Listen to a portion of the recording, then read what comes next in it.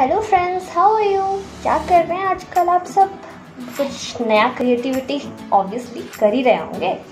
तो आज की क्रिएटिविटी में क्या है नेक्स्ट आज की क्रिएटिविटी में है डेकोरेटिंग आइटम तो उसके लिए हमें चाहिए क्या होगा? देखिए, उसके लिए हमें चाहिए होगा ये ऐसे कार्टून ठीक है?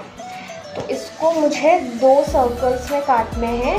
डायामीटर होंगे 16 सेंटीमीटर तो ऐसे दो कार्टून देखिए ऐसे मैंने काट रखे हैं ऑलरेडी तो इसका अभी क्या करना है कि हमें इसको इक्वल मतलब सेगमेंट्स में डिवाइड करने हैं ताकि मैं आ, पेपर रोल्स इजीली उसमें पेस्ट कर सकूँ सिक्सटीन सेगमेंट बना लेना है। तो उससे पहले हमें और एक चीज़ करनी है हमें पेपर रोल्स बनाने तो पेपर रोल हम बनाएँगे किससे? न्यूज़पेपर्स या फिर आपके पास कोई भी पुरानी नोटबुक हो जो आप यूज़ करना चाहते हैं या कुछ भी वैसे। तो मैंने न्यूज़पेपर लिया है। न्यूज़पेपर से हम कर लेते हैं एक छोटा सा पेज टेयरअप सेगमेंट मेरे लिए काफ़ी है, ये वाला पोर्शन ठीक है?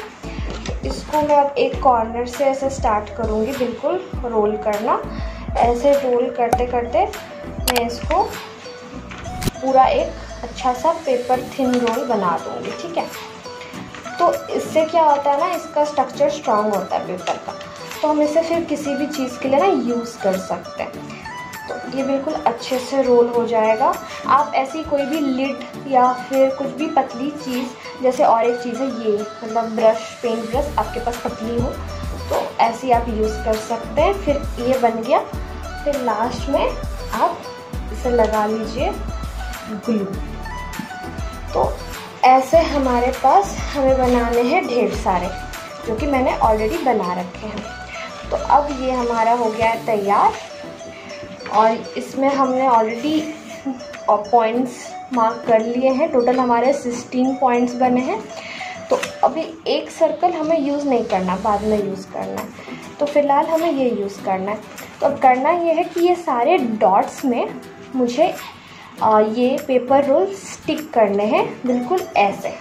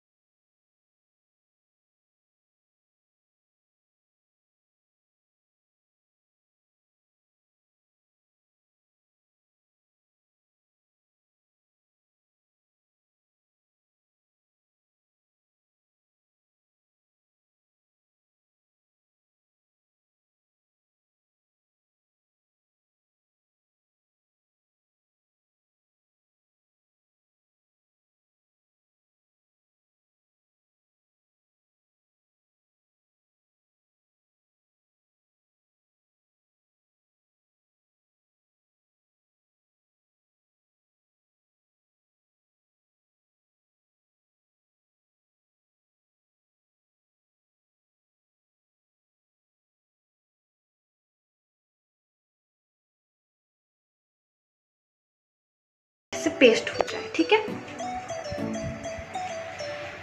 तो ये हो चुका है ड्राई अभी मुझे क्या करना है, मुझे इसकी जो हाइट है, जहाँ से मुझे इसको ऐसे करके टर्न करना है तो मुझे इसकी हाइट चाहिए 8.5 तो मैं चारों तरफ़ जितने भी मैंने पेपर रोल्स लगाए हैं, वो सबको मार्क्स मार्क कर दूँगी 8.5 ठीक है? चारों तरफ़। तो इसका हमें और एक चीज़ करना है कि ऐसा एक सर्कल काटना है बिल्कुल इसके हाफ़ के डायमीटर के लेंथ पे, ठीक है? ये एट था तो ये मैंने फोर के डायमीटर पे काटा है। फिर हमें क्या करना है, इसको बराबर एक एक इस पर पेस्ट करना है ऐसे। तो मैं आपको पेस्ट करके बता रही हूँ एक एक। बिल्कुल ऐसे हमें इसे पेस्ट करेंगे, ताकि हमारा हर स्टिक यहाँ पे बराबर आके ऐसे फिट हो जाए, ठीक है?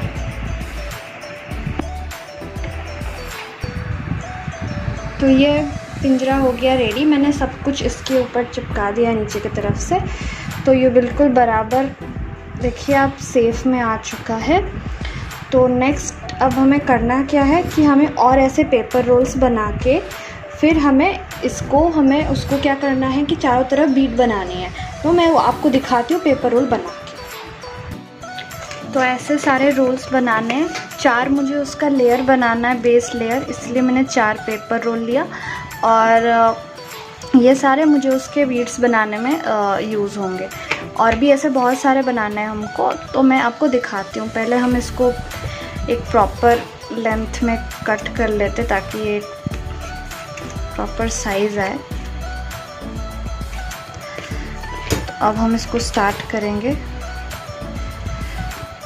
पहला लेयर हम लगाएँगे फ़र्स्ट तीन को इसको।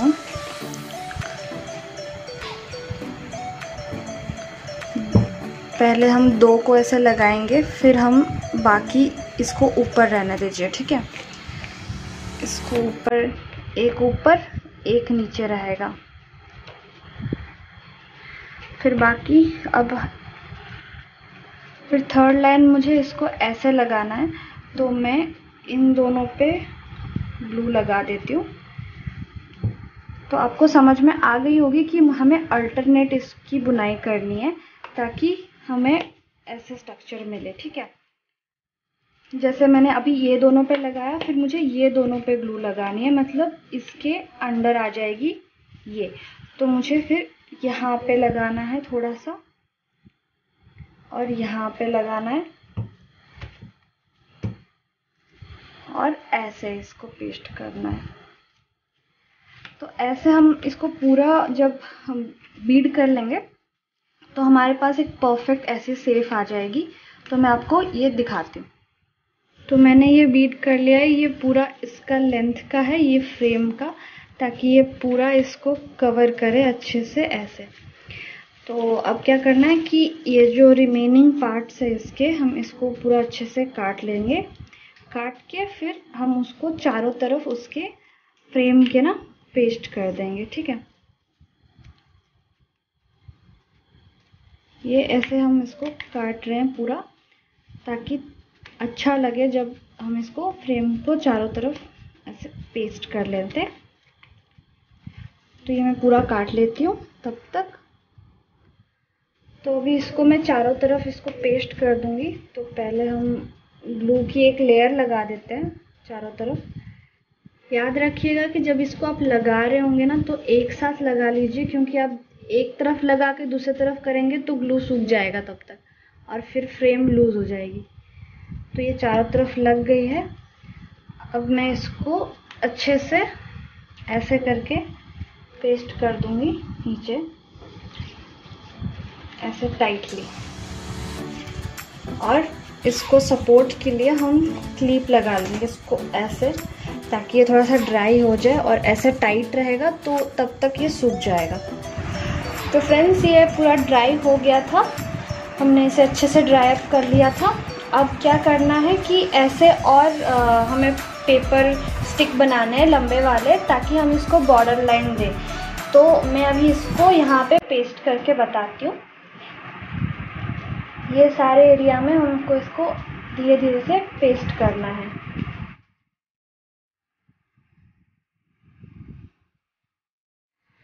तो ये मैंने लगा दिया है। मैंने बताया था कि ऐसे वाला आपको लगाना है पेपर रोल बना के। तो मैंने नीचे और यहाँ पे दोनों ही पेस्ट कर लिया है ताकि ये एक ना मतलब मज़बूत हो जाए। और ऐसे वाले वायर से आप देख सकते हैं, ये वाला वायर बहुत फ्लेक्सिबल होता है। ऐसे वाले वायर से मैंने इसका हुक बनाया है, ये, इस टाइप का। तो ये क्या होगा ना हम इसको यहाँ पर डाल देंगे। यहाँ पे मैंने दो होल बनाया है ना तो इसमें इसको फिक्स करके तो ये हैंगिंग के लिए बिल्कुल रेडी हो जाएगा। तो इसको फिक्स कर सकते हैं यहाँ। तो इसको ऐसे करके इसमें फिट कर देना है। तो ये प्रॉपर ऐसे आ गई। और यहाँ पे जो इसका एक्सेस पार्ट है, आपको दिख रहा होगा तो ये एक्सेस पार्ट को ना दोनों तरफ़ आपको ऐसे कर देना है ताकि सिक्योर हो जाए अंदर, दोबारा निकले ना।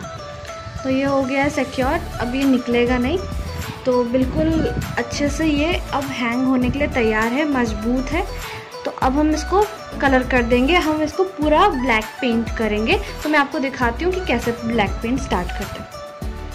तो मैं इसमें ये वाला पेंट यूज़ कर रही हूँ। आप कलर भी यूज़ कर सकते हैं बट ज़्यादा अच्छा दिखे और टाइट हो तो अच्छा लगता है ना। तो इसलिए पेंट यूज़ किया है। ये ज़्यादा महँगा नहीं है। ये आई थिंक थर्टी हाँ ट्वेंटी सेवन रुपीज़ का है। तो ये इजीली अफोर्डेबल है। तो अब हम इसको पेंट करना स्टार्ट करते हैं। अच्छे से इसका कलर टेक्सचर बहुत प्यारा लगेगा।